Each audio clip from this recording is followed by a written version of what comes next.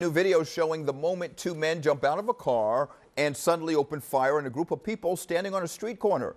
Happened on Berks and Croskey Streets in North Philadelphia Monday afternoon. One person was transported to the hospital but is expected to be okay.